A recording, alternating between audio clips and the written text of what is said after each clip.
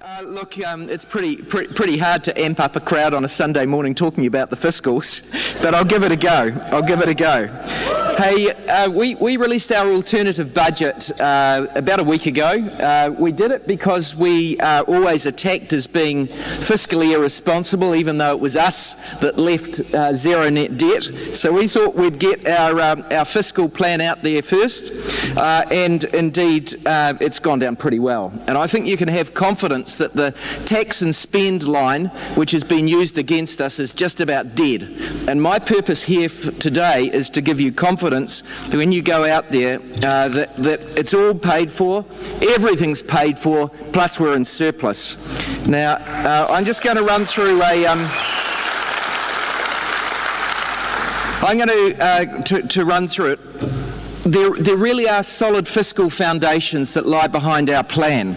We're going to run surpluses every year unless there's a significant international downturn or another natural disaster like we had in Christchurch. Except in those instances, you can be assured that we're going to be running a surplus.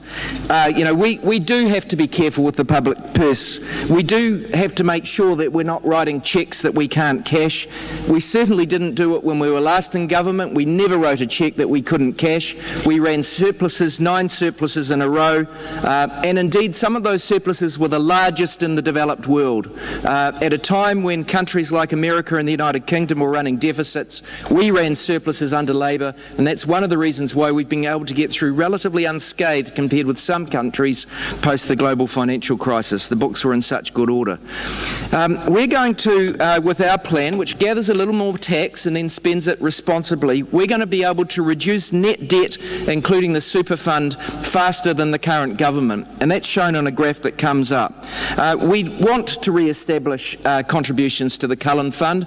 We all recall our, our, our, um, our, opponents calling that a dog when it was introduced, and of course it's, it's gone very well since. So we're re-establishing contributions to the Cullen Fund, but we still get debt down faster. And indeed, we get net down, debt down to 3% of GDP by the end of our second term. By that time, we're actually running a surplus that's about $3 billion.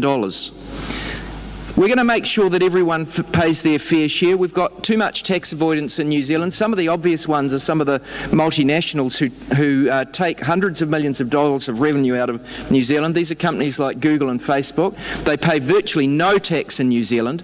Other people have to pay that tax for them. Their New Zealand competitors in the advertising business are undermined and we lose jobs as a consequence. So that sort of tax avoidance and other tax avoidance will be cracked down and we'll make sure everyone pays their fair share at the top as well. We're going to introduce a capital gains tax, 15% realisation base, and that's a, that, that's a, over time becomes quite a large source of revenue. It builds slowly, um, but by the time you get out a few years, it's a, it's a large amount of money. So that means that by the end of our second term, doing all these wonderful things that we're already promising to do, including more things that we leave room for in the future, we will be running surpluses of around $9 billion, having paid down net government government debt to 3% of GDP, there will be fiscal headroom which allows us the option of income tax reductions in our second term. This is what the debt track looks like. The red and the blue shows uh, Labour in red, National in blue. We reduced uh, debt hugely under the last Labour government. It's gone up again. Some of those consequences were unavoidable, of course, with the global financial crisis and the Christchurch rebuild, but they made it worse with some of the tax cuts. Uh, in any event, uh, we will pay down debt, as you can see in the dotted red line there, uh, at a, at a rate that is slightly better than national. Uh, our initiatives are set out in this document that there'll be uh, a fair few copies around of this today for you all that want to see them. You'll see that all of our promises there, we show the extra revenue coming in, we show where we lose revenue to things like our R&D tax credit, to our, to our accelerated depreciation, to getting everyone into KiwiSaver, uh, those sorts of things. We also show every line item of our spending promises our best start package is broken down, and Jacinda will be explaining it, but it's, it's, all, it's all there and it's all paid for. We've made a new provision in these accounts because there's a bit of dishonesty in the way in which uh, increases in spending in a budget are now accounted for. Governments come along and they say, we're spending a bit more on health uh, uh, and we're going to spend it on this new program.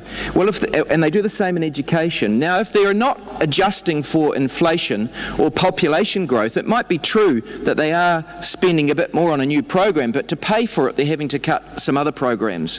And we've actually done a fair bit of this in New Zealand, or the current government has in the in the last little while. And health, even now, with you know pretty good economic growth. Even now, real health spending is less than it was when National took office. So we're saying that we're going to set aside a billion dollars a year for these uh, cost rises that are just unavoidable. That's population getting older, uh, the increased costs of health care, uh, and inflation. Uh, so we're setting enough aside to pay for all of that. I'm not going to say anything more than that because actually what you really want to hear is the exciting things that our program program pays for, but you can be absolutely assured that it's all paid for, plus we're in surplus.